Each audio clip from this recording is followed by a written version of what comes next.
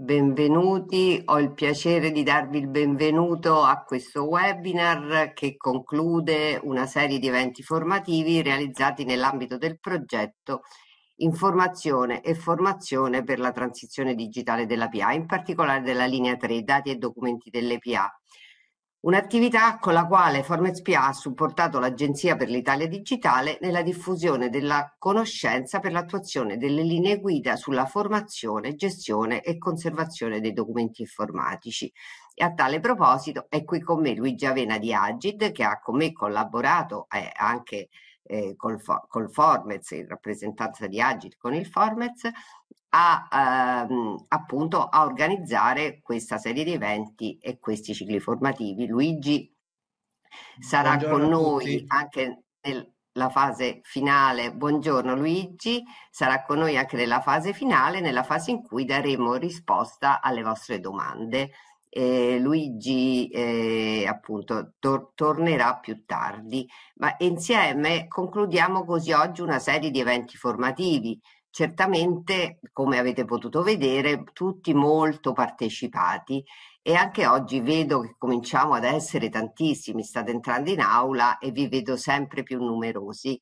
Una serie appunto di eventi, dicevamo, che sono eh, appunto, spero che siano stati graditi e che ho qui cercato di eh, di riassumere e appunto di, di, fare una specie di, di micro di, di, di microbibliografia di quanto è avvenuto anche per potervi dare, permettervi di andare agevolmente a ricercarli e di rivedere i link.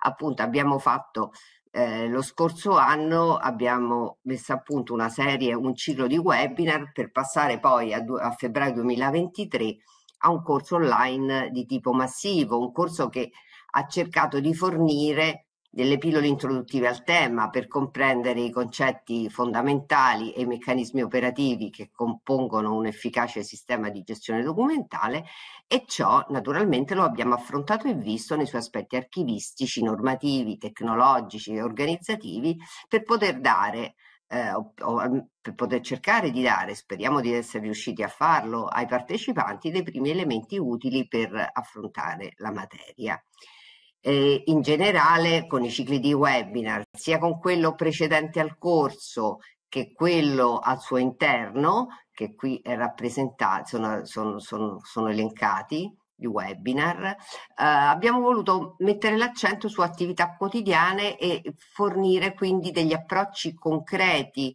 cercare cioè di dare un taglio più pratico possibile a supporto di aspetti, degli aspetti magari più complessi, anche attraverso le, la presentazione di esperienze e di buone pratiche. La partecipazione è stata davvero notevole sia numericamente che come quantità e qualità dell'interazione, un'interazione che comunque ha fatto emergere nettamente eh, Luigi credo che insomma li abbiamo visti insieme, abbiamo poi concordare eh, non solo attraverso partecipazione e domande, ma anche attraverso i questionari via via somministrati, il notevole non solo l'interesse, ma anche il notevole fabbisogno informativo e formativo relativo a questo argomento. In particolare poi per la necessità di eh, adeguarsi eh, ai diversi adempimenti eh, dei contenuti nelle linee guida eh, sono state appunto fatte numerose richieste anche nei questionari di, di come dire, riapprofondire, ricontinuare appunto, le, appunto, eh, i contenuti delle linee guida che come noto sono un documento, lo ribadiamo anche stavolta, fondamentale nei processi di digitalizzazione delle pratiche amministrative e, come sappiamo, hanno lo scopo di favorire la transizione ad un'amministrazione pienamente digitale. Abbiamo potuto vedere tutti insieme, grazie a questo primo percorso formativo, che si tratta di conoscenze, abilità e competenze di vario genere, piuttosto articolate direi, che riguardano diversi ambiti. Ci è sembrato dunque opportuno e speriamo mm, utile per il futuro continuare ad approfondire con esperti del settore quello che è uno dei principali fattori abilitanti in, quella, in questo ambito, cioè quali conoscenze, competenze e abilità debbano essere possedute, aggiornate, rafforzate per migliorare la qualità stessa della gestione documentale e quindi i processi di trasformazione digitale. Di che parliamo? Parliamo delle competenze e conoscenze tecnico-archivistiche, di quelle giuridiche, di quelle organizzative, di quelle informatiche, che i responsabili di settore devono possedere, come precisato anche nelle linee guida. Ma parliamo anche delle conoscenze e competenze sul tema che tutti coloro che operano nelle PA a qualsiasi livello devono avere, ciascuno per il proprio ambito di attività. E questa è una cosa molto importante. E si tratta però in molti casi di aspetti che molte amministrazioni hanno sottostimato. E non si tratta peraltro solo di definire i requisiti in termini di conoscenze di base, ma anche di, di, di, riuscire a considerare le forme di acquisizione dei profili necessari all'interno dell'amministrazione e di assicurare nel tempo l'aggiornamento delle conoscenze e delle abilità in un ambiente dinamico e multidisciplinare. Dinamico è forse dire poco, ma comunque è, si tratta di un cambiamento che è continuo ed è un cambiamento per tutti. E per parlare di tutto questo sono, poi, sono con noi oggi tre esperti molto esperti, molto formatori, più che esperti del settore, che ringrazio fin d'ora per aver accettato di eh, essere oggi qui con noi e sono Gabriele Bezzi, Mariella Guercio e Gianni Pensodoria. Con la professoressa Guercio affronteremo il tema delle conoscenze per la gestione documentale, mentre a seguire il dottor Bezzi ci introdurrà alle conoscenze necessarie per la conservazione. Infine, il dottor Penso Doria ci offrirà un panorama delle conoscenze organizzative necessarie per gestire al meglio la relazione tra procedimenti amministrativi e gestione documentale, un tema spesso spinoso all'interno delle organizzazioni, delle amministrazioni. E eh, come sempre vi ricordo eh, vado a finire, che potete porre le vostre domande sul tema nella chat e che risponderemo con i nostri esperti al termine. E eh, le slide e la registrazione dell'evento saranno disponibili a partire dal, da, immediatamente dopo dal pomeriggio e eh, nella stessa pagina di Eventi PA e per finire permettetevi di ricordarmi come bella notizia, come buon auspicio per il prossimo futuro l'importanza di conoscenze e competenze eh, che è stata evidenziata dal Ministro della, per la Pubblica Amministrazione proprio da poco in una direttiva dedicata proprio alla formazione. Io per ora ho finito, prego Mariella, ringrazio ancora Agid eh, per la collaborazione che abbiamo avuto oggi ma anche nel periodo precedente, prego Mariella di attivare la, la webcam e ci vediamo dopo. Prego Mariella, grazie ancora per essere qui con noi. Bene, grazie.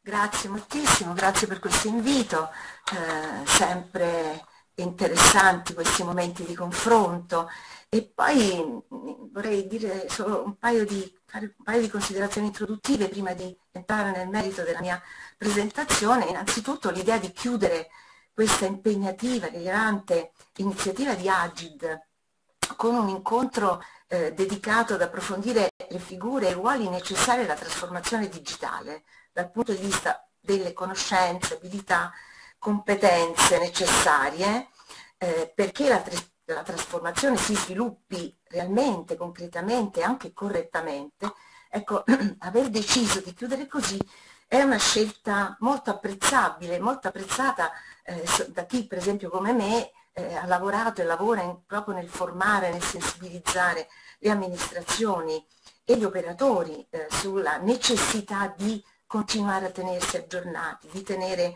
di avere il quadro del, dei problemi ehm, eh, nel, nell'ambito delle loro, eh, della crescita personale e professionale. Ecco, la presenza è molto rincuorante, la presenza di tanti partecipanti anche a un incontro così così specifico. Il mio compito è quello oggi di ragionare con voi, eh, come ha detto prima Alessandra, eh, sulle conoscenze e abilità per la gestione documentaria. E, allora, la gestione documentaria è senza dubbio, l'ha detto anche Alessandro, un fattore abilitante della trasformazione digitale, un presidio, un ancoraggio eh, concreti operativi soprattutto, anzi quasi esclusivamente, se gestiti con cura e competenza, per proteggere la fragilità dei patrimoni informatici. Le ragioni sono note, sono ampiamente discusse eh, e certamente lo sono state nell'occasione eh, dei tanti webinar che hanno preceduto quest'ultimo momento formativo.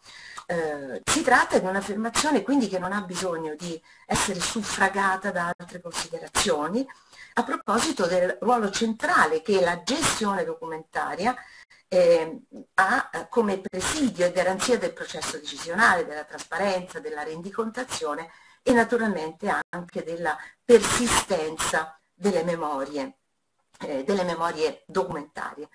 Ma chi presidia questa funzione? Soprattutto appunto quali conoscenze, quali capacità devono eh, possedere coloro che la coordinano, ma anche coloro che collaborano nello staff, per esempio, nel team che lavora nel, nel sistema di gestione documentale e anche quanti altri al di fuori del team specifico ehm, in un'organizzazione sono chiamati a contribuire consapevolmente, quindi che cosa dovrebbero sapere ehm, in, per poter collaborare in modo efficace, per poter partecipare in modo efficace alla costruzione di un sistema eh, effettivamente efficace ed efficiente.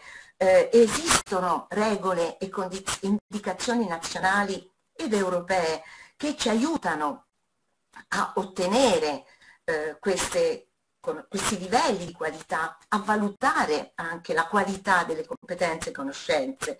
Ecco, naturalmente, oltre a quelle previste alle indicazioni, previste ehm, dalla, e penso soprattutto al responsabile della gestione documentale, oltre a quelle previste dalla normativa specifica, dal testo unico, dalle linee guida già citate, eh, sono note sicuramente ai, ai, a alla gran parte dei partecipanti oggi che hanno sicuramente anche seguito precedenti, eh, mo, i precedenti momenti di formazione, quindi non entro nel merito di queste, dei compiti del servizio, del fatto che il servizio debba essere formalmente affidato all'interno della PA a una figura eh, riconosciuta autorevolmente, che abbia delle conoscenze, come è stato già detto, archivistiche, giuridiche informatiche, che de debba esserci un vicario, un coordinatore e che ehm, si debba espletare questa eh, gestione, questa funzione eh, attraverso compiti che qui ho ra rapidamente riassunto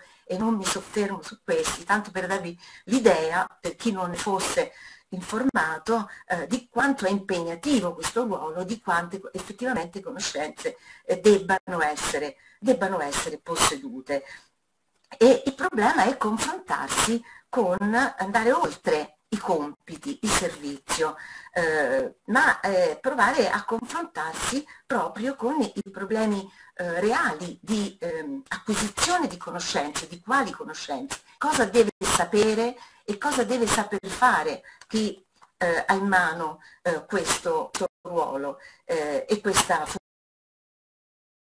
funzione e quindi io ho diviso la mia ehm, presentazione in due parti. Una prima proprio dedicata a cosa deve eh, saper eh, fare eh, chi si occupa in modo diretto, con una responsabilità diretta della funzione documentale e cosa deve sapere e conoscere il dipendente nella pubblica amministrazione che comunque si trova a doversi, si deve confrontarsi con eh, la gestione documentale, con la formazione del documento, con l'acquisizione del documento in un formato eh, digitale, con l'uso di firme diversificate, eccetera, eccetera. Allora, sono eh, aspetti che hanno oh, bisogno di, una, eh, di, una, di, una, eh, di, essere affrontati, di essere inquadrati, eh, sicuramente e più, cioè, ci sono una serie di norme precise eh, in corso di elaborazione addirittura di standard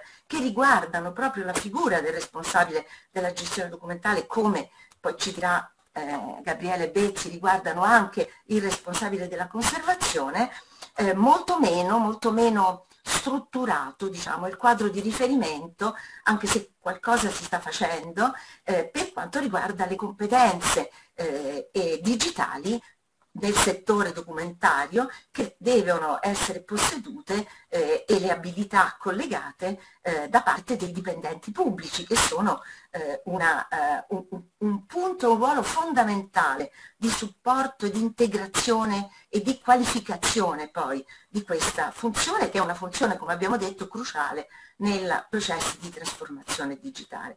E quindi partiamo dal appunto dalle, dal responsabile del servizio, che è un ruolo, abbiamo visto, cruciale per la digitalizzazione, naturalmente a condizione che operi eh, eh, in stretta collaborazione con chi coordina la trasformazione dal punto di vista generale, che sia sostenuto internamente, c'è poco da fare, eh, internamente all'ente, da un elevato livello, da un adeguato livello di riconoscimento e di supporto e naturalmente sia in grado, in primo luogo, ma poi sia chiamato in secondo luogo a partecipare alle fasi di progettazione, di esecuzione del, dei processi di trasformazione digitale, di informatizzazione, di definizione dei flussi di lavoro, di, eh, procedimentali, come poi ci racconterà ancora meglio eh, eh, e, bene, in modo approfondito eh, Gianni Penso. Ecco, quindi eh, partiamo proprio dal responsabile della gestione documentale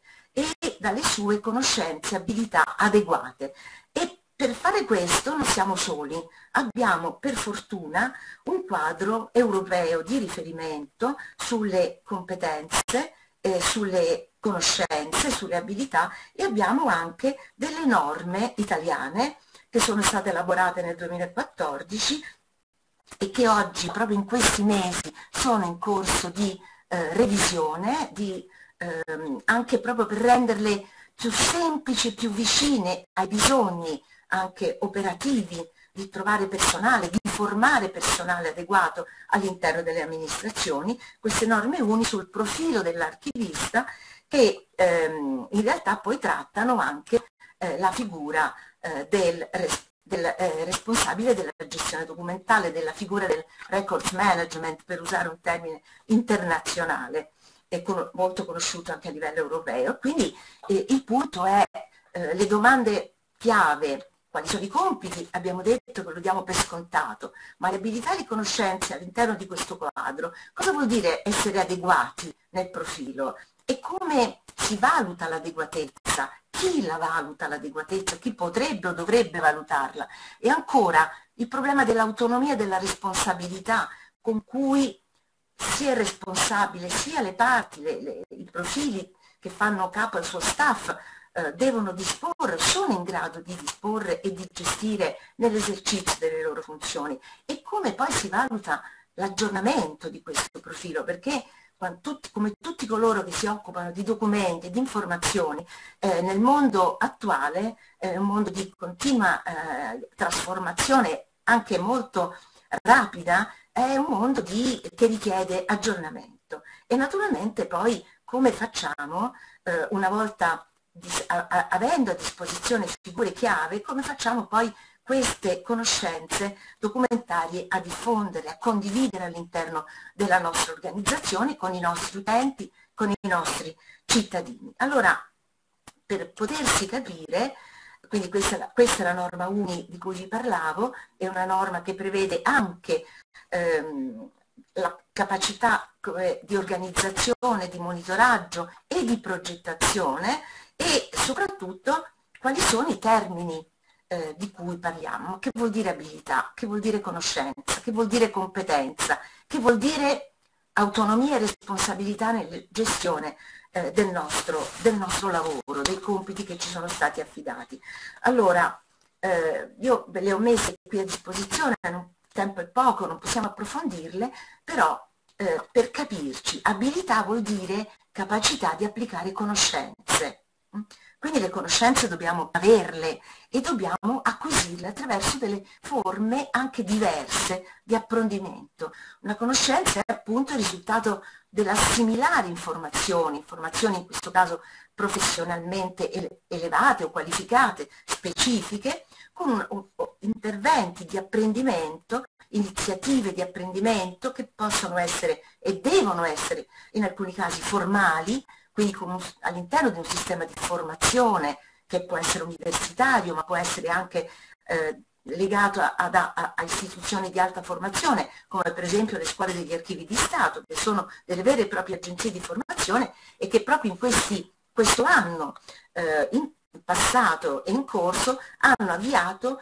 una nuova figura eh, un, un, nuovo percorso di formazione gratuito di archivista contemporaneo, mentre prima la figura, quindi del record manager, con una serie di, e considerate che è una formazione gratuita, a differenza di quella universitaria e normalmente di quella poi gestita dalle eh, agenzie formative di diverso profilo e sono comunque sempre, quando parliamo di apprendimento formale, sono processi conclusi con, con un'attività di certificazione. Poi c'è la formazione informale, lo svolgimento eh, che si ottiene nello svolgimento delle eh, situazioni di vita quotidiana, nelle interazioni con il luogo di lavoro, e quella non formale, non formale che è qualcosa di diverso, che vuol dire apprendimento, vuol dire eh, una, un apprendimento come quello che avete ottenuto attraverso i webinar, sostanzialmente. Quindi la competenza è la capacità comprovata di utilizzare le conoscenze e le abilità, l'autonomia e la responsabilità. Vabbè, non occorre neanche entrare nel merito e spiegarle.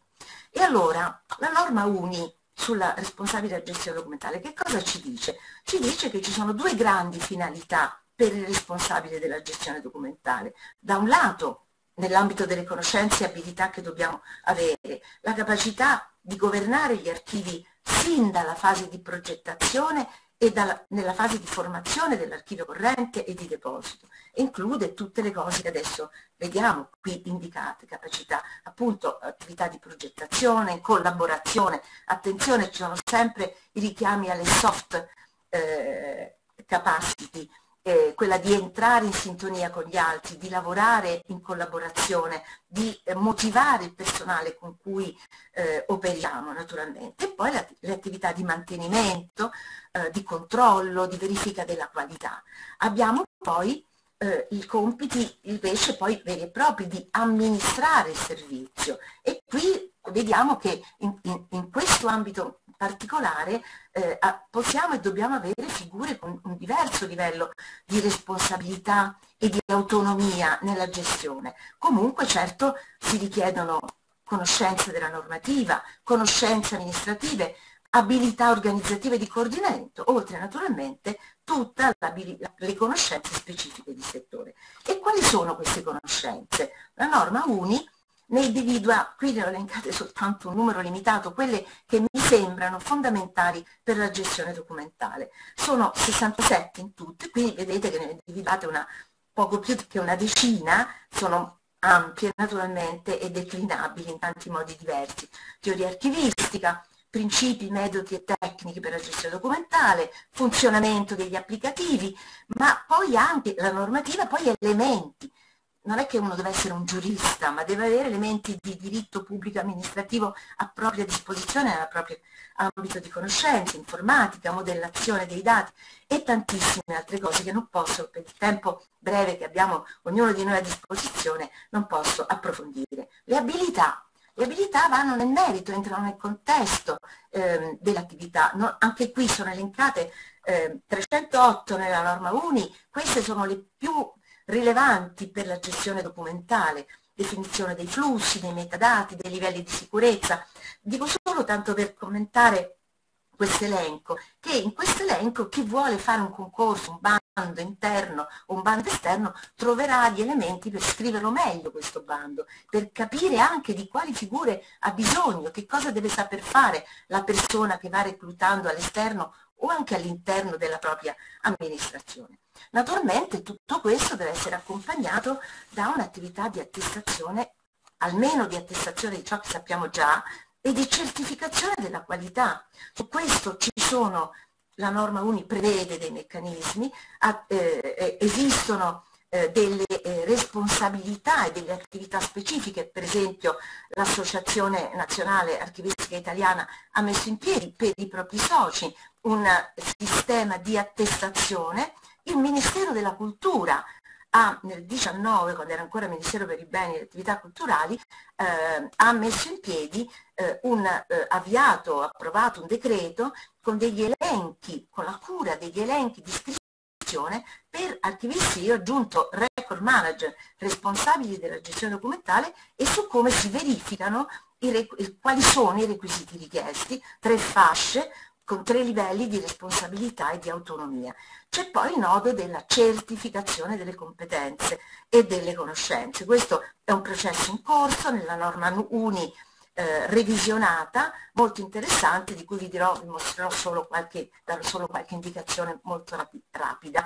Diciamo, eh, questa norma UNI proprio sta rivedendo la mappa delle conoscenze, sta semplificando le fasce, che non saranno più tre ma saranno due, quindi una fascia di coordinamento, di eh, capacità di progettazione, una fascia di partecipazione attiva ad un buon, anche alto livello di collaborazione. Eh, naturalmente si vanno definendo anche i criteri di valutazione, di apprendimento, non voglio entrare nel merito, sono aspetti piuttosto complessi, ma solo per darvi l'idea, eh, il punto è bisogna avere continuità nell'esercizio delle attività per poter continuare a far parte di questi processi. E, e che cosa eh, si sta anche facendo, è un'iniziativa recentissima in corso di elaborazione, partecipano le associazioni professionali, ma eh, lo cura, lo coordina il Ministero del Lavoro, dell'Istruzione, dell'Università, l'AMPA, il coordinamento delle regioni, molte regioni direttamente, un repertorio nazionale dei titoli di, vedete, istruzione e formazione, quindi apprendimento formale, apprendimento non formale, per entrare eh, per acquisire questa qualifica. Naturalmente queste sono solo piccole indicazioni che non possono essere ovviamente esaustive. E cosa facciamo? Cosa abbiamo fatto finora per, i, per non solo i professionisti diciamo, dell'archivio informatico, della gestione documentale o della conservazione, ma per le conoscenze e abilità documentarie diffuse. Allora, io lo, lo, lo, considero sempre un'iniziativa molto importante, ho partecipato anche insieme al Formet, è il syllabus, il syllabus delle competenze digitali dei dipendenti pubblici, ma anche in qualche modo dei cittadini e c'è un'area, l'area eh, che qui vi, ho, vi, illustro, non vi illustro, vi faccio vedere semplicemente l'area delle eh, competenze in materia di gestione documentale, documentaria in generale. Il syllabus è un'ottima eh, base di partenza. Poi abbiamo iniziative di vario genere, la Fondazione Scuola per i Beni Culturali mh, mm, che ha elaborato questo, questo, percorso, ma esistono tantissime altre iniziative, Procedamus eh, che viene brillantemente, efficacemente coordinato dal collega Gianni, Penzo, Doria, eh, proprio su questa eh, formazione on the job, formazione continua, formazione, informazione delle persone che sono interessate.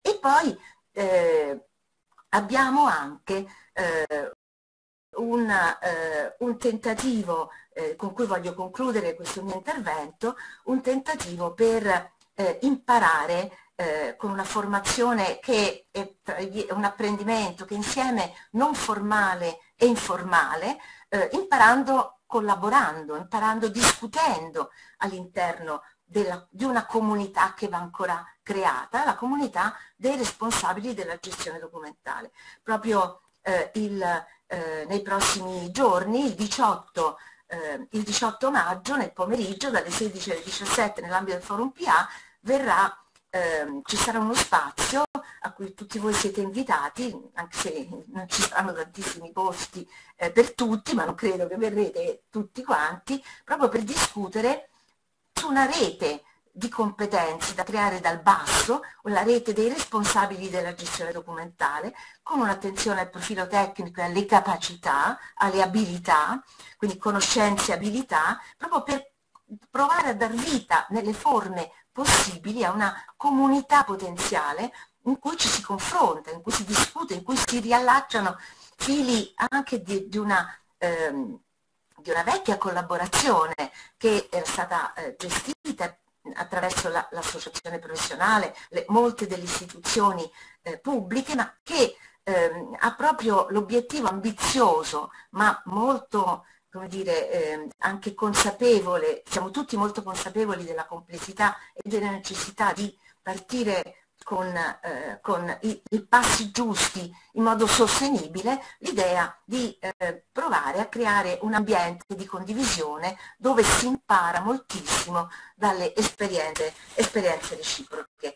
Eh, diciamo che eh, è una sfida che noi appunto abbiamo deciso come associazione, come archivisti, come eh, istituzioni anche specifiche di settori di accettare, anzi di avviare, di promuovere, perché riteniamo che eh, non si possa mai affrontare i nodi impegnativi eh, di questi processi di trasformazione se non c'è un confronto eh, guidato, supportato, eh, finalizzato a garantire la qualità eh, dei risultati attraverso la qualità delle persone che partecipano, che si assumono le responsabilità e che collaborano. Eh, grazie dell'attenzione.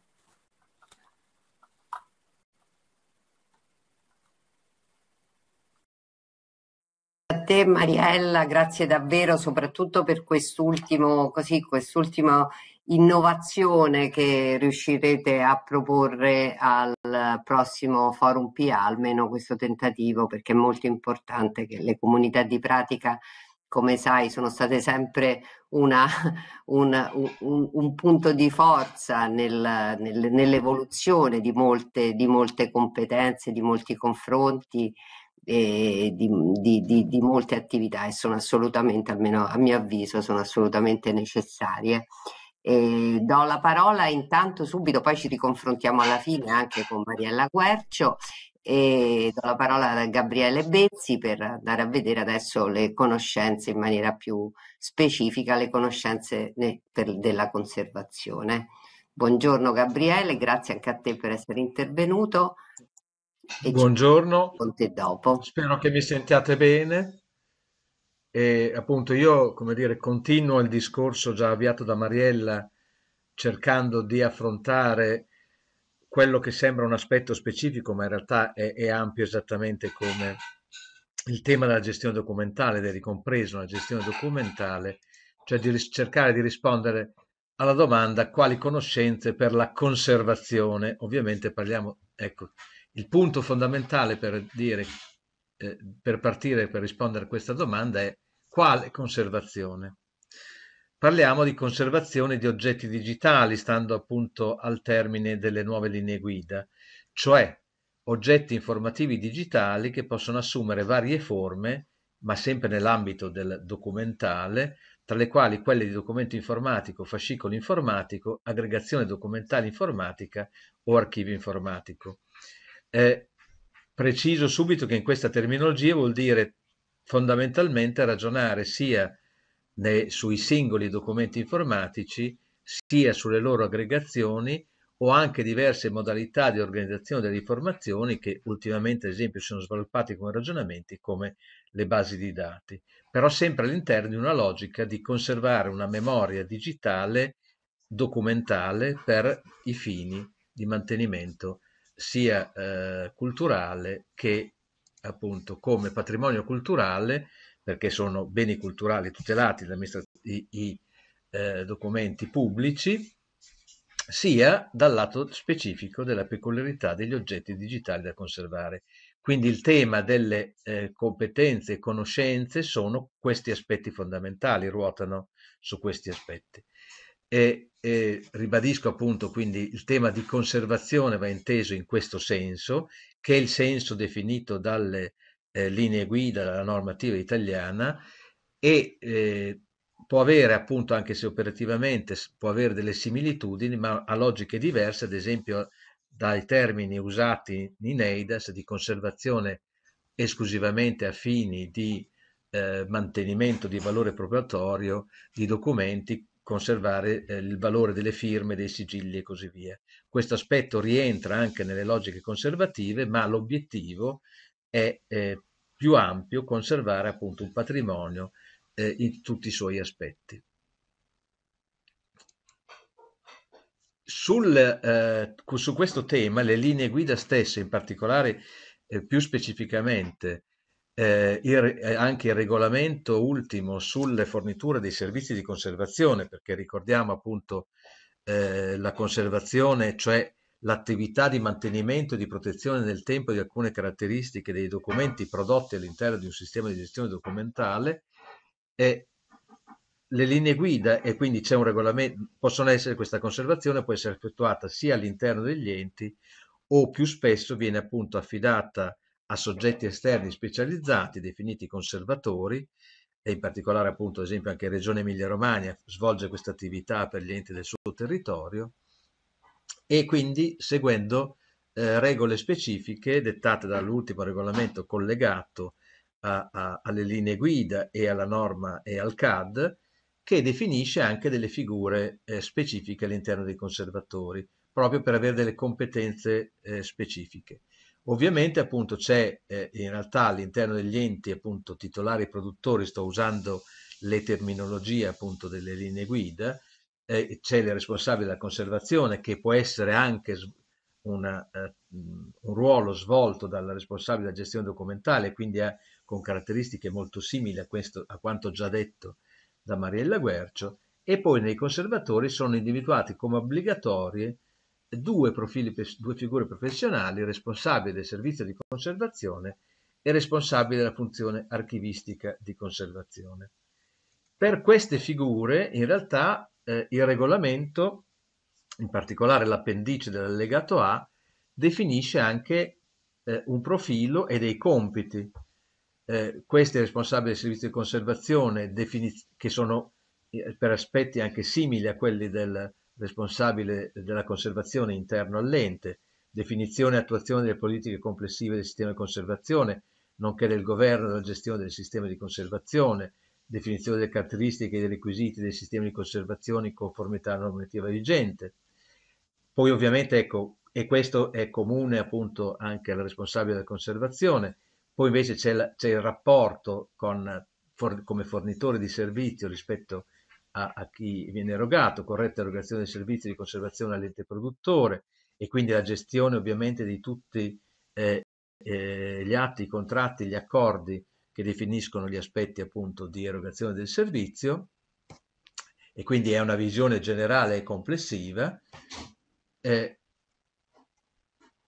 e abbiamo invece, e ci soffermiamo un po' di più, sulla eh, la responsabilità della funzione archivistica di conservazione, responsabile della funzione archivistica di conservazione, che dovrebbe essere appunto riconosciuto come l'unica figura attualmente necessaria per i conservatori eh, perché poi vogliono erogare servizi di conservazione alla pubblica amministrazione, in precedenza c'erano altre, ovviamente non è l'unica figura necessaria perché in realtà ci deve essere affiancata da uno staff, ma è la, il segnale che appunto il valore archivistico, cioè il, il tema di conservazione di archivi, è un tema che le eh, norme italiane eh, mettono in rilievo di, di, archivi digitali. E anche questo ha dei compiti specifici. Definizione e gestione del processo di conservazione, incluse le modalità di trasferimento da parte dell'ente produttore, verifica di integrità, descrizione archivistica dei documenti e dell'aggregazione documentale trasferiti, esibizione, accesso e frizione patrimonio documentario informativo conservato. Quindi, diciamo, funzioni fondamentali quali l'acquisizione, la verifica, la descrizione e la possibilità di, rendere, di fruire il patrimonio, tipicamente o figure archivistiche definizione del set di metadati di conservazione, monitoraggio del processo di conservazione e analisi per lo sviluppo di funzionalità sempre più eh, di valore archivistico e quindi di valore di fruizione del bene conservato e anche collaborazione con il produttore ai fini di trasferimento in conservazione, selezione, quindi concetto selezione, scarto degli oggetti eventualmente conservati che possono essere eliminati, in particolare in rapporto con le autorizzazioni previste e quindi la tutela eh, del Ministero dei Beni e Attività Culturali, rimasta questa addizione all'interno del regolamento, in realtà ora Ministero della Cultura per quanto di competenza.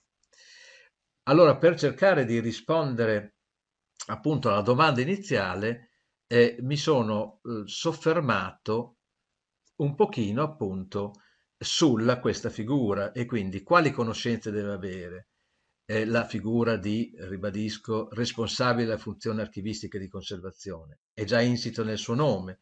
Scorrendo le specifiche mansioni, i compiti, risulta evidente che la figura responsabile della funzione archivistica e di conservazione necessitano competenze archivistiche e che quindi sia una figura professionale che deve essere ricoperta da un archivista, cioè un professionista dotato di una formazione specifica, iniziale e sottolineo continua nell'ambito della disciplina archivistica e quindi rientrante in quella logica appunto che ha già presentato Mariella Guercia della figura professionale archivista normata attualmente e indicata nella norma UNI. Quindi ho cercato di fatto di ragionare, e ovviamente semplicemente una proposta, non è che sia una, eh, un elemento da prendere, ma cominciare a dire, allora, visto che appunto lo schema è capacità di l'abilità sono capacità di applicare per, eh, per portare a termine capacità da applicare per portare a termine compiti, risolvere problemi, quindi quali sono i compiti indicati a normativa per responsabile della funzione archivistica, l'abbiamo visto prima, e quindi quali conoscenze, quindi come abbiamo visto il risultato dell'assimilazione di informazioni attraverso l'apprendimento, sono necessarie. E a questo punto ho fatto un giochino molto veloce, devo dire molto rapidamente, e quindi anche con soggetto a eh, molte eh, dire, eh, osservazioni e valutazioni. Quali sono le, le, conoscenze indicate nella struttura dello standard appunto UNI relativo ai compiti eh, indicati nella normativa, appunto quello che abbiamo visto prima, del responsabile della funzione archivistica di conservazione. Da questo quindi ho estratto se, rapidamente un piccolo modellino, ovviamente appunto cercando di, come abbiamo visto anche prima da Mariella, di vedere quali sono, e sono tanti in effetti, le conoscenze che dovrebbe avere per svolgere eh, i compiti richiesti. Quindi nella definizione e gestione del processo di conservazione di tutta questa attività eh, appunto se prendiamo gli elementi all'interno del, degli elementi di organizzazione e di gestione eh, dei documenti, ci sono questi, quindi teoria archivistica ovviamente in partenza, elementi di diplomatica, che vuol dire in particolarmente il concetto di diplomatica contemporanea, cioè di conoscenza del, attualmente possiamo tradurlo nelle modalità di formazione dei documenti informatici, quindi, quindi anche tutto il tema appunto firme digitali, copie e così via, principi, metodi e tecniche di gestione documentale e di tenuta e ordinamento degli archivi, parliamo di descrizione archivistica dei documenti, elementi complessivi di organizzazione della conoscenza, perché parliamo di sistemi, e quindi anche elementi di teoria dei sistemi, elementi di informatica, norme tecniche nazionali e internazionali in tema di conservazione digitale e normative in materia di conservazione dei documenti. E infine, ovviamente, visto che gestisce un sistema, conoscenza approfondita dei sistemi di conservazione in uso. E ovviamente questi aspetti qua sono conoscenze che uno deve avere, ma non si definiscono i percorsi e quale background uno deve avere, però dovrebbe essere in grado di sviluppare e avere, di apprendere queste conoscenze. Eh, vi ho inserito anche qua eh, nella definizione degli altri due passaggi specifici, definizione dei set di metadati, eh, di conservazione di documenti e fascicoli informatici, monitoraggio del processo di conservazione e analisi archivistica per lo sviluppo di nuove funzionalità del sistema di conservazione, anche quelli che sono le novità attuali di revisione in ambito di Regione Emilia-Romagna del eh, profilo professionale specifico che è stato definito in base anche al nuovo contratto di lavoro. E la, per sottolineare questi aspetti, attualmente la conoscenza primaria è fatta da standard e, e, e modelli eh, internazionali di riferimento, come penso a OIS, appunto a conservazione a lungo termine di oggetti digitali, o a eh, profili a standard di metadati, penso ai metadati previsti già nella normativa, nell'allegato 5 eh, delle, delle, linee guida, ma penso anche allo schema di pacchetto unisincro.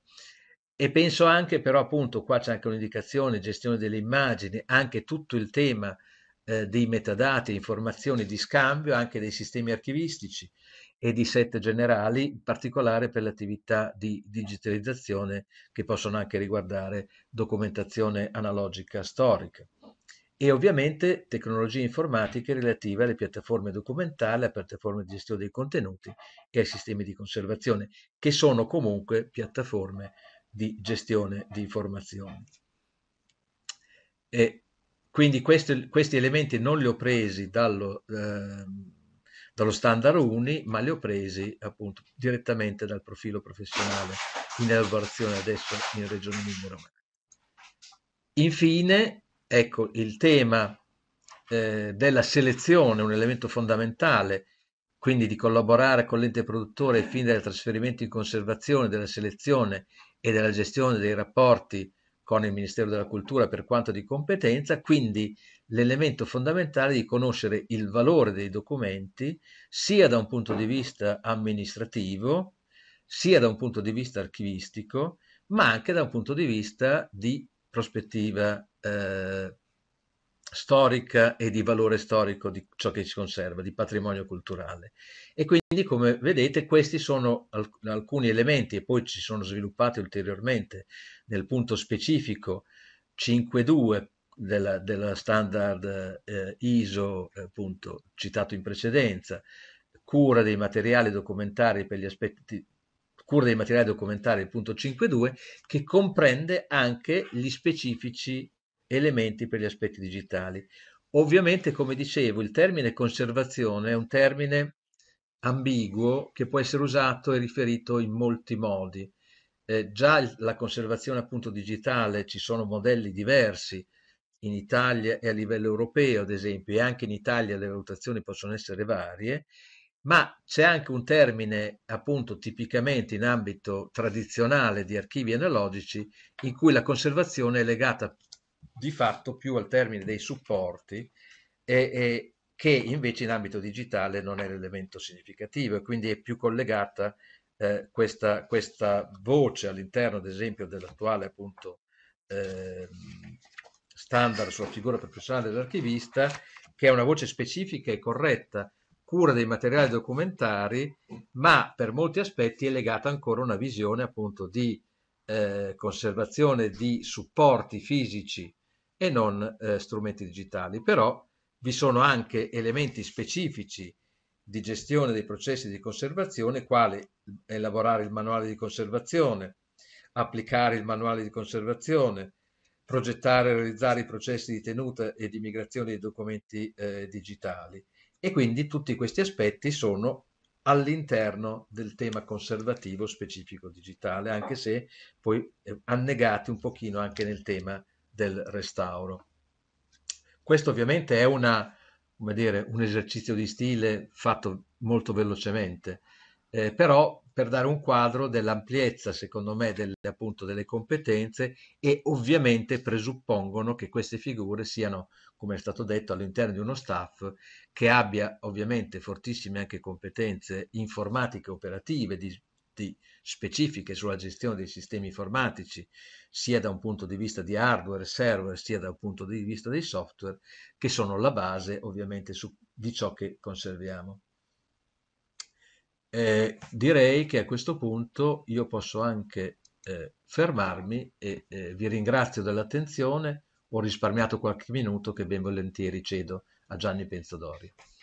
Grazie Gabriele, grazie davvero. Sì, poi comunque avremo modo anche alla fine, anche con te, di riconfrontarci e di vederci anche per rispondere alle domande che via via stanno arrivando. Eh, Gianni vedo che ha già attivato la sua webcam, è già presente e mm, vai Gianni con la relazione con la, mm, tra procedimenti amministrativi e gestione dei documenti e archivi. Bene, bene, grazie Alessandra. Grazie, grazie, anche, grazie anche a te. Grazie a Gabriella, a Mariella e a Gabriele che ci hanno preceduto.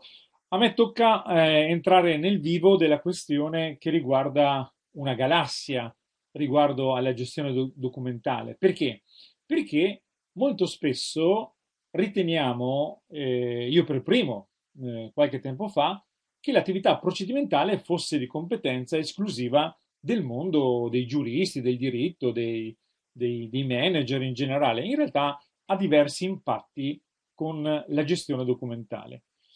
Eh, tantissime parole che riguardano in generale la nostra attività quotidiana come eh, funzionari pubblici, come dirigenti, come manager, impatta inevitabilmente nella gestione documentale. Adesso io vi sto mostrando una serie di parole, dato, informazione, documento, procedimento, provvedimento. Bene, dal momento che l'archivistica non è una disciplina, una scienza che tende a occuparsi del singolo documento o della singola parola in questo caso, ma mette insieme i legami, controlla i legami, mantiene nel tempo i legami tra i documenti, quello che noi chiamiamo tecnicamente vincolo archivistico, cerco da archivista di dare un vincolo a queste parole che in generale ruotano attorno all'amministrazione pubblica. Bene, il, diciamo così, il, il, principio di provenienza rispetto alla parola, alle parole è attività amministrativa. Per quale ragione? Perché ogni volta che noi trattiamo un dato, un'informazione, un documento, un atto, un provvedimento, un procedimento e a valle un fascicolo archivistico, stiamo trattando di gestione documentale. Quindi tutte queste parole apparentemente slegati partono da un nucleo, ma arrivano fino ad, ad, ad un universo, eh, oserei dire a una universitas rerum, proprio legandolo all'attività amministrativa. E partiamo allora da qualche definizione che molti spesso eh, dimenticano oppure hanno una proprietà piuttosto approssimativa riguardo a queste definizioni. Ovviamente sono tre parole che iniziano per proce, per cui per assonanza spesso sentiamo dire nelle nostre riunioni ho tante procedure, sono impegnato in processi, ho un sacco di procedimenti e quant'altro, in realtà hanno significati profondamente diversi. E a livello didattico di solito lo spiego tramite la macchinetta del caffè, eh, perché procedura è un insieme ripetitivo di azioni sequenziali. Eh, la procedura ha come base l'essere condiviso. La procedura banalissima è una ricetta di cucina o come fare il, il caffè. Bene, se voi immaginate la caldaia della moca, nella quale dovete mettere l'acqua e il filtro poi, provate, e ovviamente poi il caffè in polvere, provate a eh, invertire uno soltanto di questi passaggi e mettere prima il caffè, poi l'acqua e poi il filtro. Vedrete che a parità di azioni il risultato è comp- completamente differente. Non avrò il caffè, ma avrò una brodaglia. Quindi la procedura è una sequenza ordinata di azioni. E chi le fa queste azioni? Bene, siamo di fronte al processo. Cioè il processo è chi fa le procedure, chi fa che cosa all'interno di un'organizzazione pubblica o anche di un'organizzazione privata.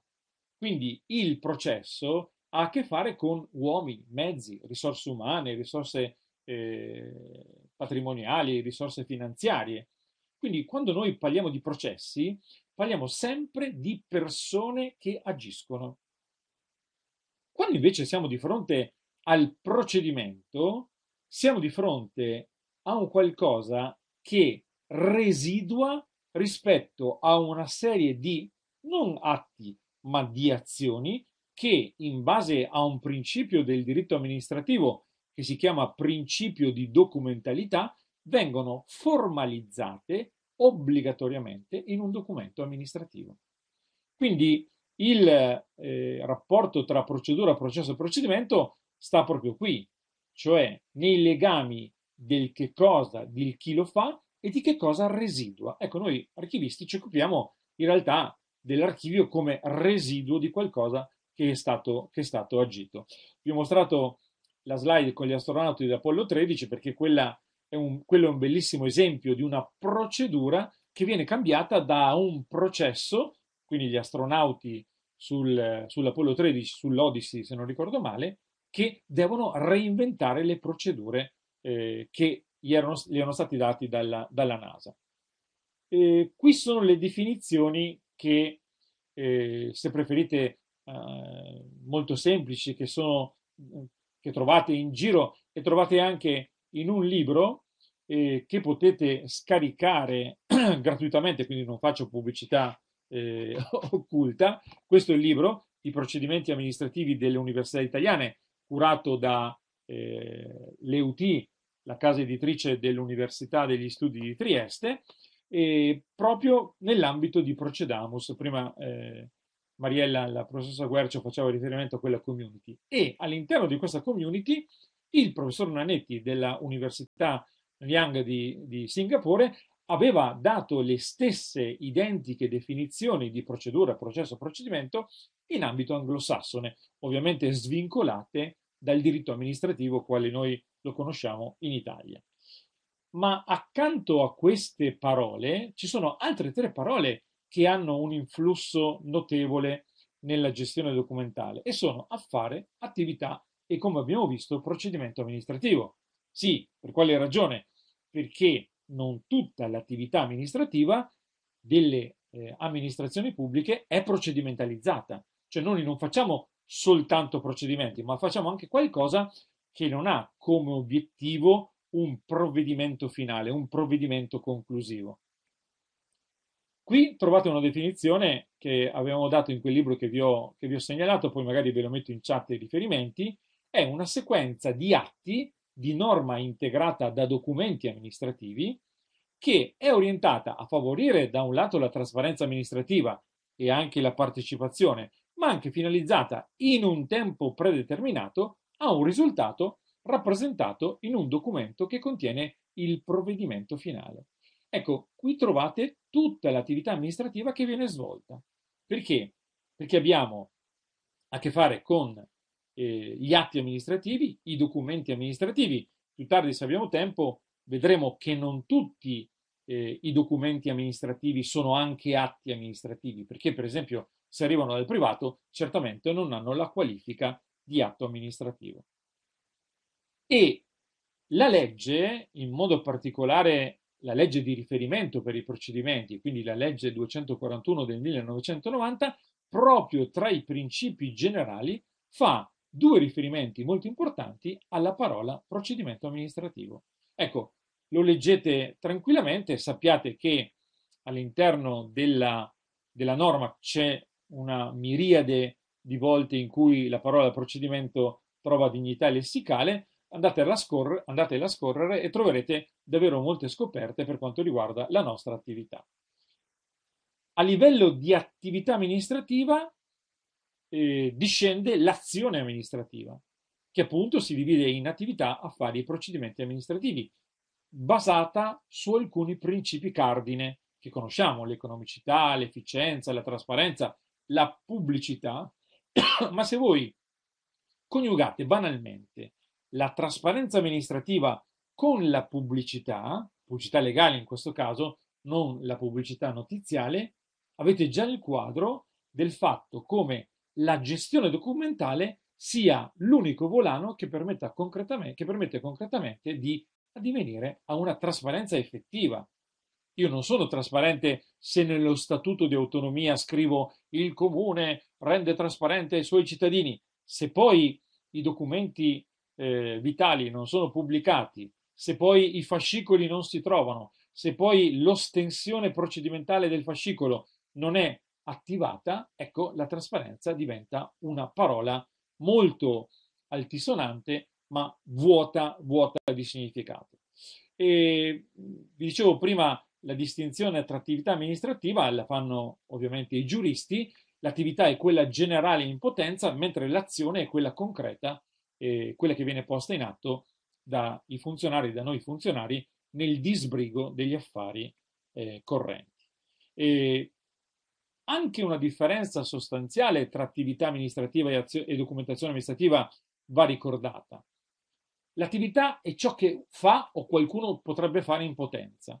Invece il documento amministrativo, la documentazione amministrativa, serve a dare prova, ovviamente giuridica, di ciò che è stato fatto.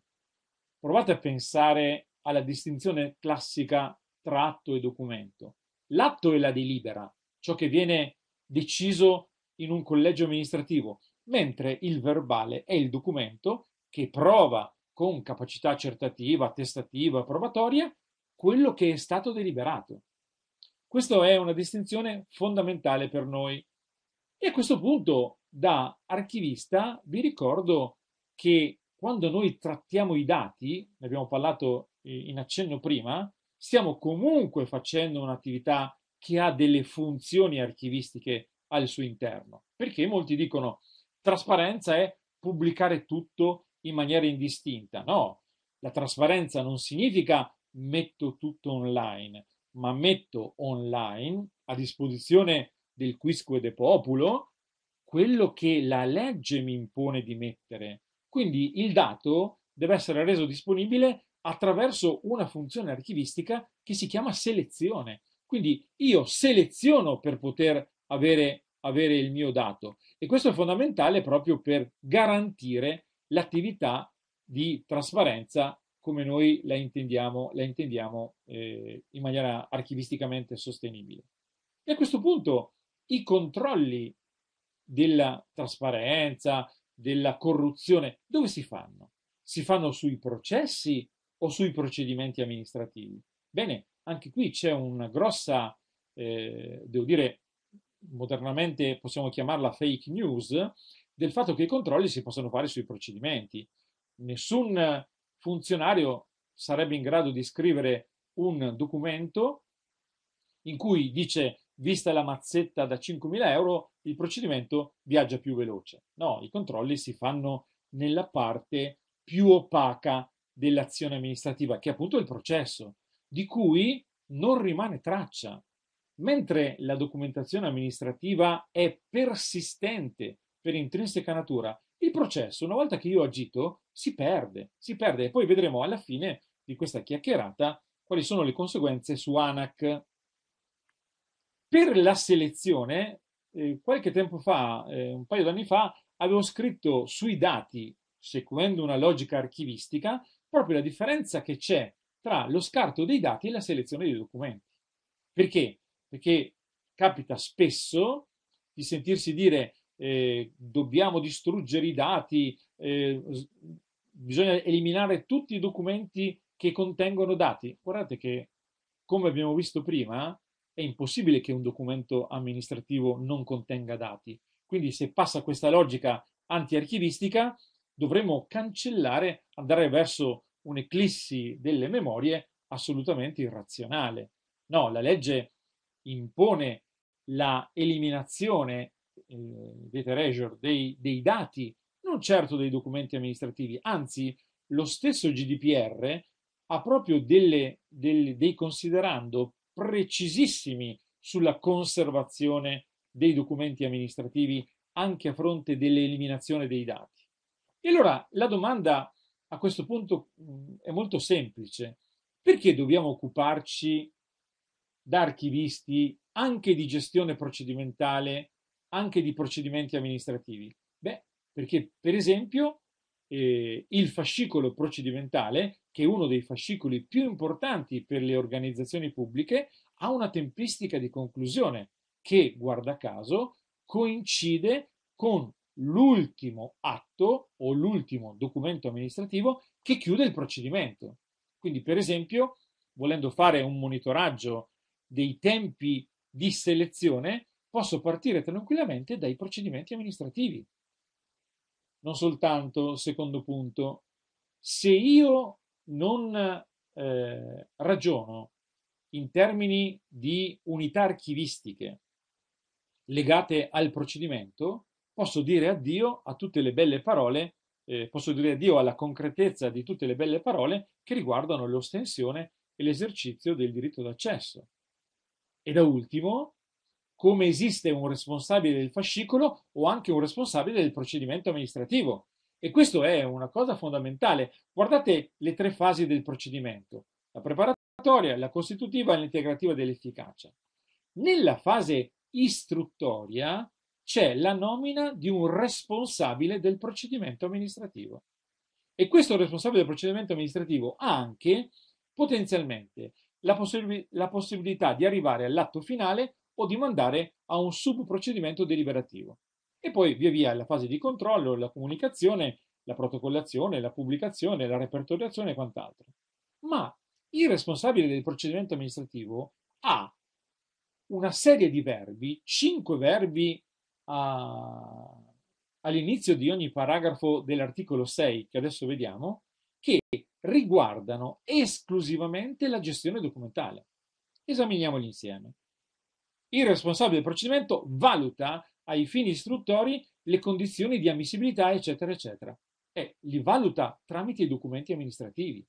Accerta, lettera B, d'ufficio i fatti, compiendo eh, gli atti all'uopo necessari e adotta ogni misura, eh, accerta i fatti tramite delle istanze amministrative, tramite dei documenti amministrativi, propone o, se ne ha la competenza, indice la conferenza dei servizi, ma lo fa tramite un documento amministrativo, cura le comunicazioni, le pubblicazioni, le notifiche e le fa attraverso documenti amministrativi. E da ultimo, adotta, se ne ha la competenza, il provvedimento finale oppure rinvia agli organi attraverso un provvedimento destinato a trasformarsi in eh, documento amministrativo. In conclusione, un, precipita- un precipitato semplice.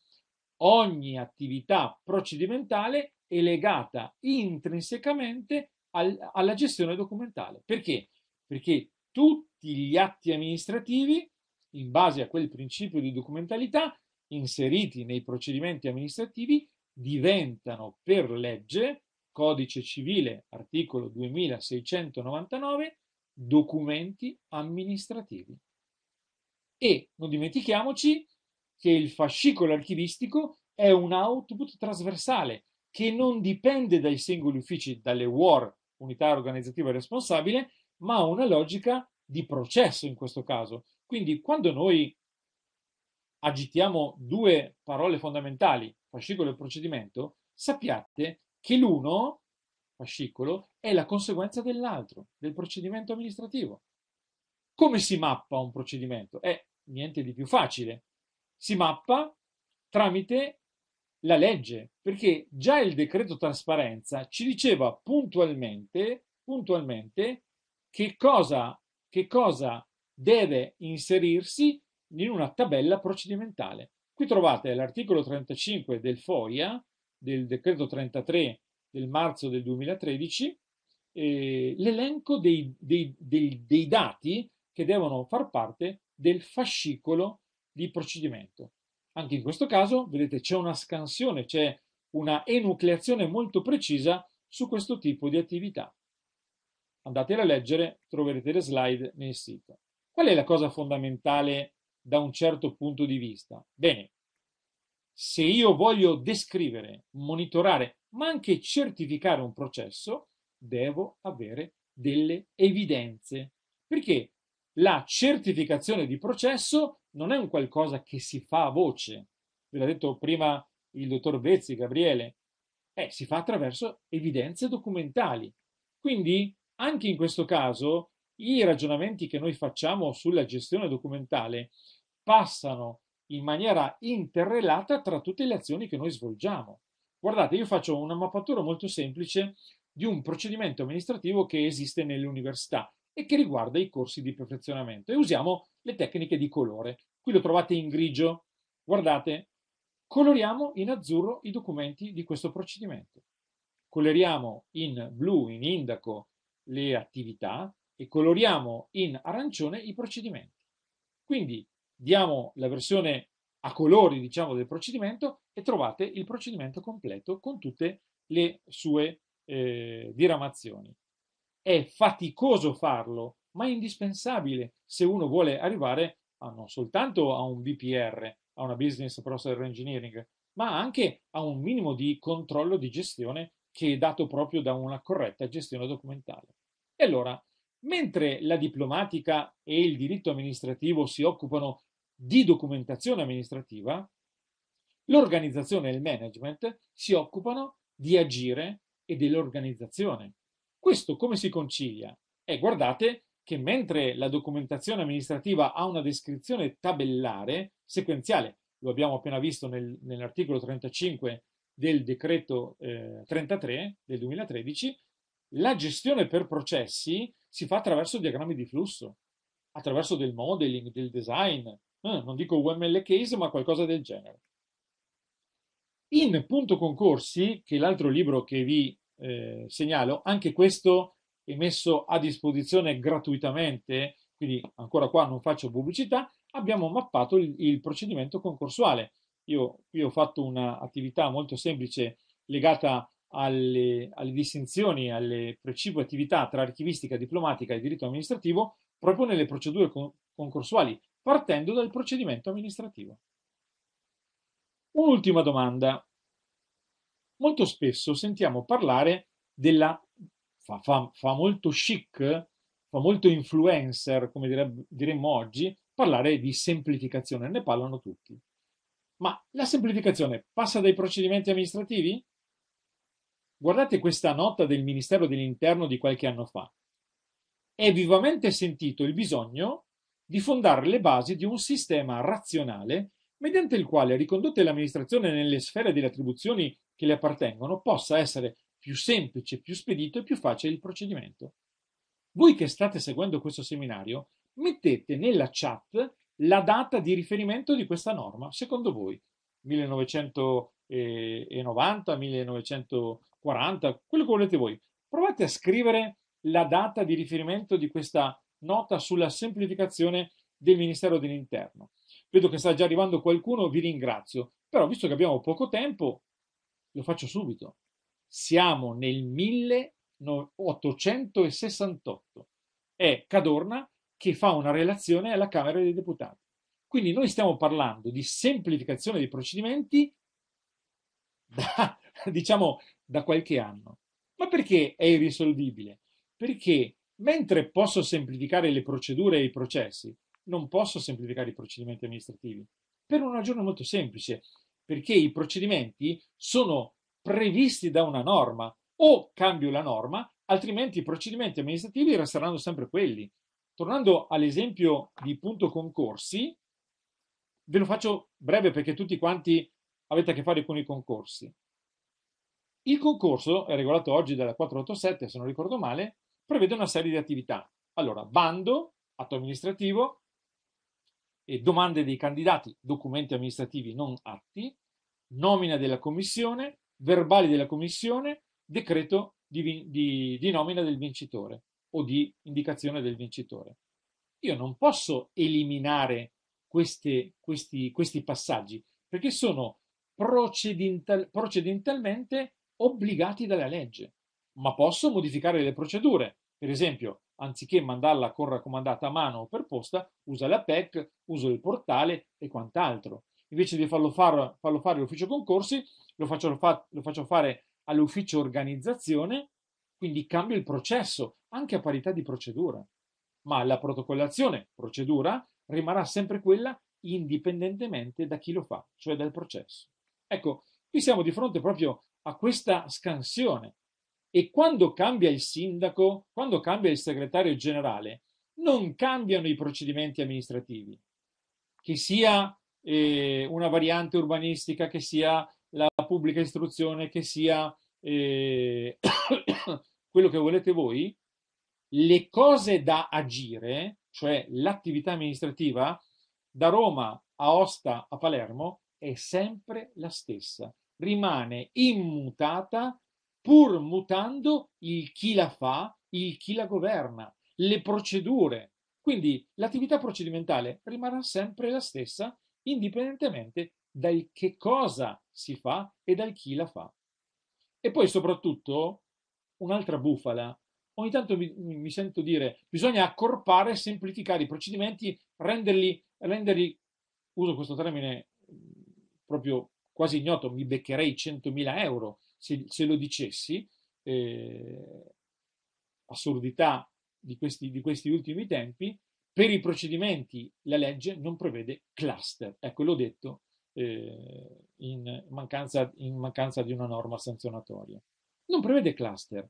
Ogni procedimento deve essere enucleabile.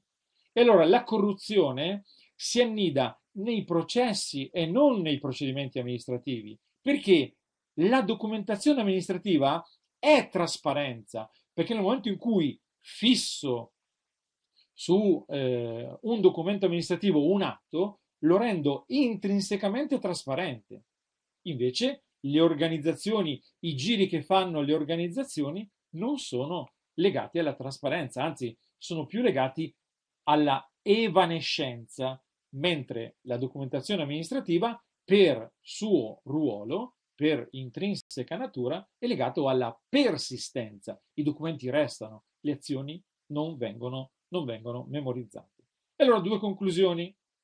Le attività di organizzazione, di BPR, di management, di processi, ogni tanto il manager che deve parlare eh, in modo forbito deve usare eh, organizzazione trasversale per processi, sono infinitamente più accattivanti della gestione archivistica. Ma se voi ricevete un'ispezione di ANAC della Corte dei Conti, non potete dire sì, non abbiamo fatto il documento come si deve, non la delibera, il decreto, l'ordinanza, la determina non è stata fatta, però eravamo organizzati per processi alla perfezione. Ecco, la gestione documentale salva la vita, salva le vostre terga se fatta bene. Non posso andare a ritroso a dire ma eravamo organizzati, organizzati benissimo. Quindi eh, questo è l'indirizzo. Eh, grazie ancora a Formez PA e ad Agid della ospitalità.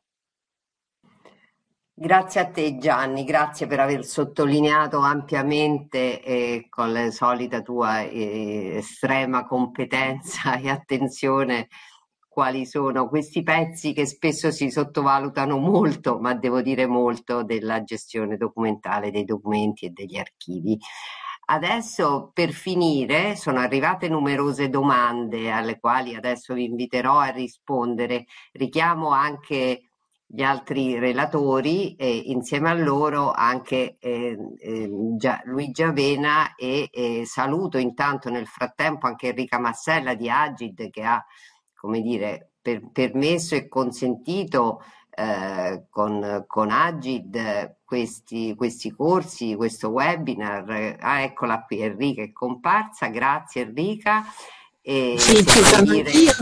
Ho, ascoltato con, ho ascoltato veramente con grandissimo interesse gli interventi fatti eh, dai nostri relatori e grandissimi amici eh, con i quali collaboriamo ormai da anni e che mh, mm, ci hanno dato modo di eh, esaminare a 360 gradi le, questa tematica che eh, come hai detto anche tu viene spessissimo tralasciata, dimenticata e mh, mm, non tutti in qualche modo ne, mh, mm, re, si rendono conto della sua importanza proprio per una corretta gestione all'interno del proprio ente. Però lascio la parola Grazie. a loro, soprattutto per rispondere alle tantissime domande. Grazie mille Enrica e allora adesso vi, vi, pongo le prime domande che tra l'altro sono tutte abbastanza molto pertinenti e, e che rivelano sempre, continuano a rivelare partecipazione e interesse la prima domanda che rivolgerei in ordine appunto a Mariella Guercio, poi magari a rotazione ci possiamo rispondere tutti.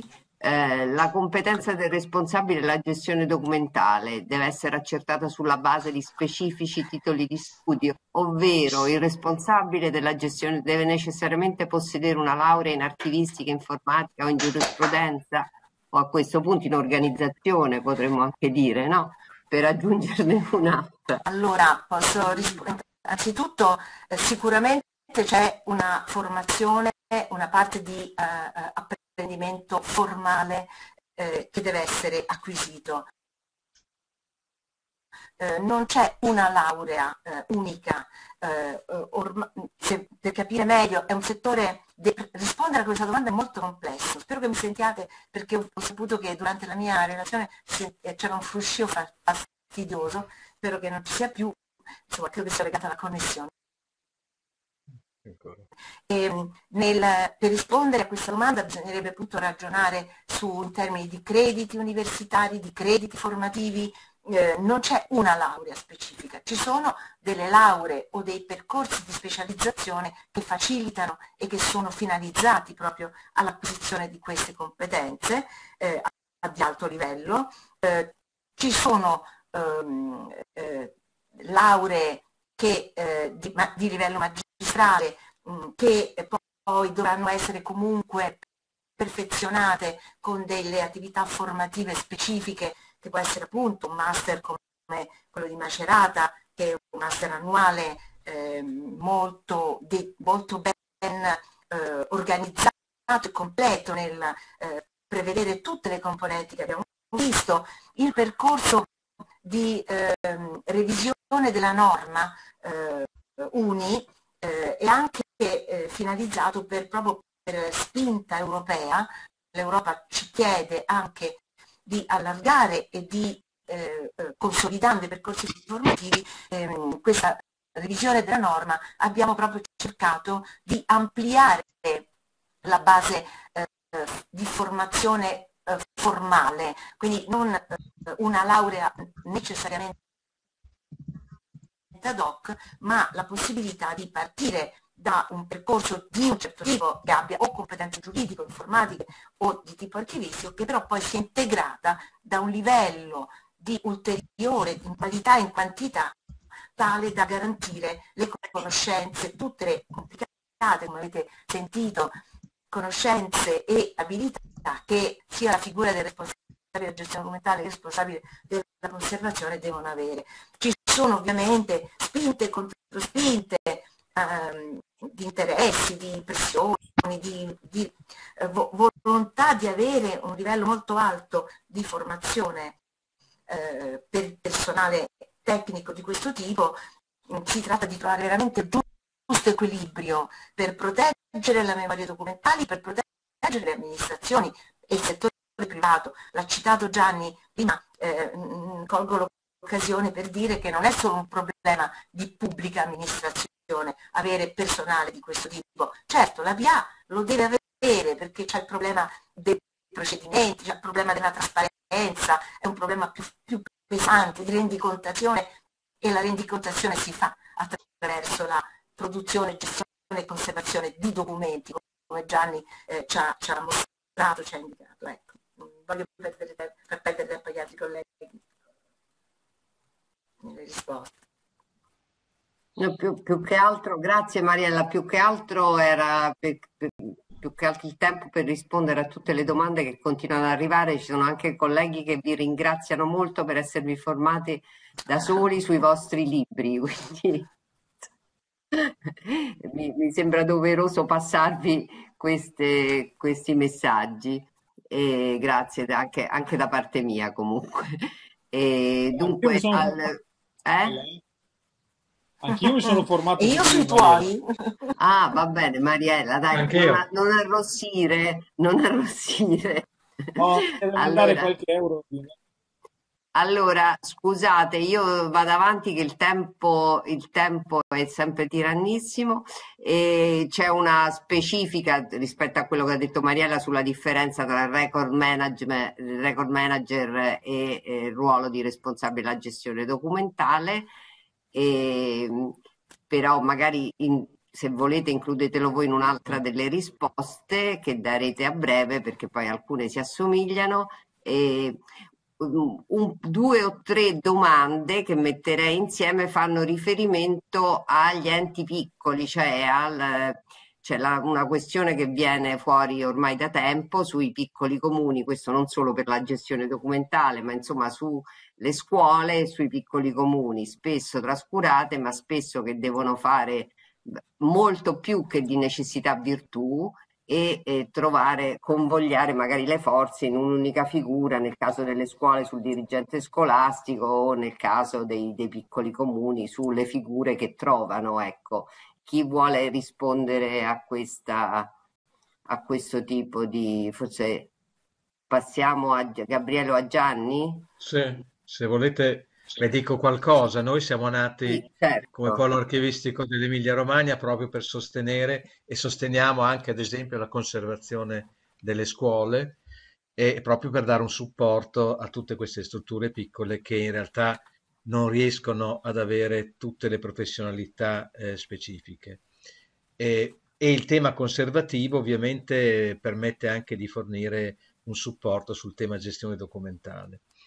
E, quindi questo è l'elemento. L'altra cosa, il termine record manager in realtà è il termine inglese che è, che, che è la, la, definizione inglese di, di, un italiano responsabile per la gestione documentale.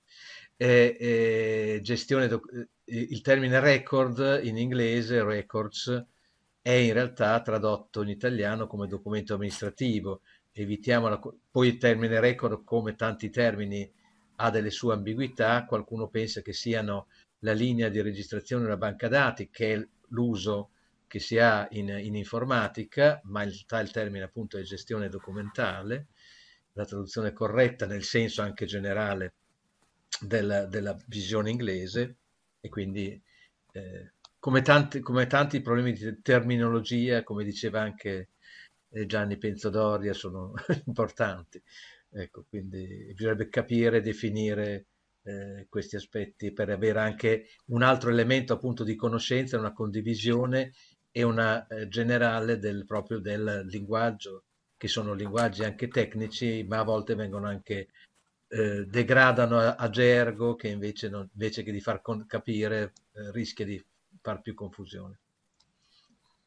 Faccio solo una chiosa se posso Alessandra. Certo, prego. E aggiungo rispetto a quello che diceva correttamente eh, Gabriele poco fa, che da noi in Italia eh, le linee guida Agid hanno messo sotto l'etichetta gestione documentale tutta, tutto il ciclo di vita dei documenti. Il, il fatto che il mondo anglosassone, nordamericano ma anche australiano divida il records manager records come documento archivistico, no? non come document management, qualsiasi documento, ma documento archivistico, che noi potremmo tradurre anche tra- tranquillamente con documento amministrativo, ma non solo, perché comunque nel mondo privato non c'è il documento amministrativo, c'è la parte di archivist, c'è la parte che si occupa degli archivi storici. E devo dire che c'è una quasi separazione, parliamola in maniera molto eh, enfatica, quasi separazione delle carriere. E guardate che questa cosa era anche in Italia così. Pensate che una legge del 1963 istituiva proprio le sezioni separate d'archivio, presso le quali doveva esserci un, laure- laureato, comunque un diplomato della scuola di archivistica, paleografia diplomatica, perché separato non voleva dire eh, con una cesura netta nel ciclo di vita dei documenti, ma diciamo da qualcuno che non appartenesse al ciclo di formazione dei documenti, a garantire quella che noi chiamiamo la terzietà, no? la trusted party, quello che ci rende in qualche modo neutrali verso la conservazione dei documenti archivistici. Questo era, era doveroso. In questo caso Aged ha messo eh, correttamente, secondo me, nel ciclo di vita tutto, tutto, il percorso e non soltanto un frammento del, del, ciclo di vita, del life cycle dei documenti. Sì, ecco, posso, posso aggiungere, posso dire solo una cosa, Scusate. record manager ah, sì. è, è, proprio come archivista, no? non è il responsabile della gestione, che è una figura specifica, anche il professionista che lavora per l'amministrazione e per il responsabile della gestione documentale che ha una competenza specifica nell'area proprio della gestione documentale.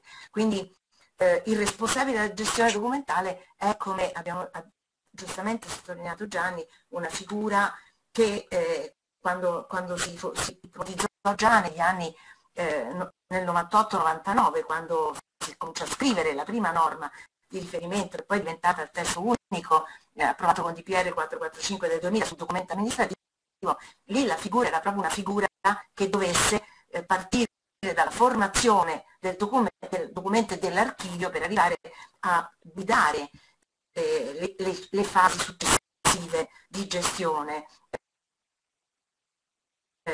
con questa capacità comunque, essendo un tecnico, di terzietà eh, di, eh, con una capacità anche di avere una visione eh, che va da, al di là della, del singolo interesse immediato della pubblica amministrazione dell'ente che produce i documenti, quindi con l'obiettivo di portare questa memoria anche alla conservazione futura eh, per le generazioni che verranno. Mm, grazie a tutti. Io mi permetto di aggiungere una cosa anch'io stavolta. Volevo, volevo sottolineare un altro, un altro aspetto della, delle competenze, delle conoscenze che forse è estremamente sottovalutato. L'ho detto all'inizio, ma ci tengo a ripeterlo. In questa fase soprattutto di grandi cambiamenti e di trasformazioni digitali, le conoscenze, dare più peso, a mio avviso, alle conoscenze che tutti devono avere, non solo chi opera nel settore specifico cioè tutti, tutti a diverso livello, del, per ciascuno per il suo ambito di competenza e deve sapere che cosa vuol dire un documento digitale. E questo a mio avviso è piuttosto sottovalutato, quindi competenze, conoscenze per il responsabile, per il suo ufficio, per il, per, anche per il responsabile della transizione digitale, ma soprattutto sviluppo delle competenze digitali, un po' quello che è stato fatto anche col, col syllabus citato da Mariella, ma eh, che sia più incisivo, che sia direi quasi obbligatorio, perché altrimenti la gestione successiva ne risente pesantemente. Volevo chiudere, se mi permettete, con un'interessante domanda, asserzione, diciamo, di Walter Francescut, che si ricollega in parte anche alla proposta della comunità di pratica, adesso vediamo perché, che appunto chiede se è stato fatto mai un sondaggio per confrontare le competenze desiderate delineate così bene in questa lezione e le competenze effettive dei responsabili della gestione documentale nelle pubbliche amministrazioni del nostro paese. Valentina Corona ha risposto che appunto di, di, eh, in chat di andare a guardare il, relativo sondaggio, il simile sondaggio effettuato per gli RTD ma appunto, e quindi ce lo andremo tutti a guardare, grazie Valentina, ma appunto chiedo a voi se appunto magari anche in ambito di Procedamus per esempio è stato portato avanti qualche cosa del genere. Sì, posso dire solo una cosa, forse potrebbe dirla ai colleghi di Agid che un'attività in corso di sondaggio proprio su questo terreno è, è, è stata avviata nell'ambito del gruppo di lavoro eh, che si è appena concluso mh, mm, eh, con il supporto di alcune regioni che partecipano appunto al, ai gruppi di lavoro proprio per vedere la differenza che c'è tra dire e fare, mh, mm, tra, tra, tra le, anche tra le linee guida e tutte le loro indicazioni eh, molto concrete per, per certi versi ma comunque impegnative da parte delle amministrazioni piccole. Posso aggiungere che le amministrazioni grandi spesso e volentieri stanno peggio di quelle piccole, perché eh, ci sono interi ministeri, ministeri che non hanno nell'amministrazione centrale neanche un responsabile della gestione documentale formato con competenze archivistiche, ehm, magari giuridiche, ma non archivistiche. Quindi il problema è molto sentito. Io spero che una comunità di pratiche dal basso possa porre i problemi dei grandi i piccoli al momento giusto nelle, nelle, nelle, nelle, nelle sedi giuste, insomma.